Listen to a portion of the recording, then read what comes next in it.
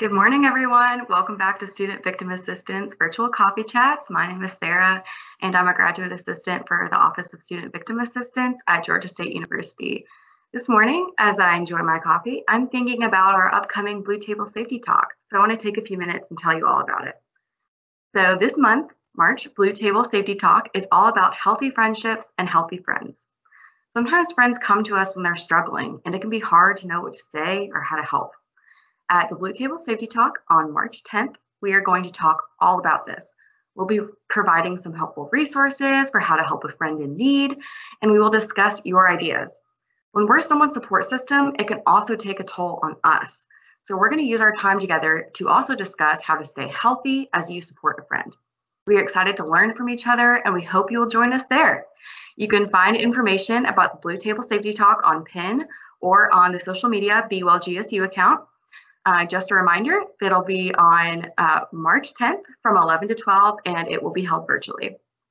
Um, if you have any questions about, about Blue Table Safety Talks um, or need any type of crisis, invent, crisis intervention or would like to set up an appointment with an advocate, please give us a call.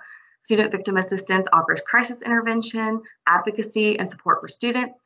Student Victim Assistance can assist students to determine their options and provide information related to their experience, even if they have no idea of what they need or what they intend to do, which is a totally normal response to trauma. Students who seek victim assistance services are not obligated to pursue criminal or university charges.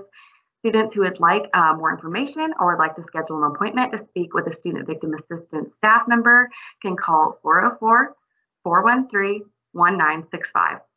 Staff is also here to help students who have experienced any type of recent or past victimization regain a sense of control over their traumatic experience so that they may resume their academic and personal pursuits.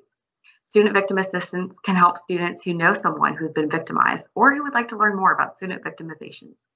Please take good care. We'll see you next Tuesday at 10:30 a.m. And uh, please be sure to complete the online survey. We've provided the link within the description of this chat and have a wonderful day. Thanks, everybody.